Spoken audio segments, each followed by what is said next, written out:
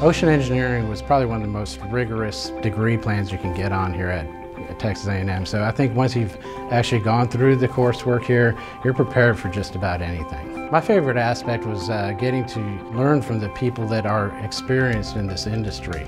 We had some of the top minds who knew about all the new technology that was out there and they were willing to share that with me while I was here. When uh, we are looking for applicants, we're looking for students that come out with enthusiasm, adaptability, and above all things, we look for people that want to be productive. I would say take advantage of every opportunity you have here at Texas A&M. The career fair is a very good one. Certainly keep your grades up and graduate from Texas A&M is the first step.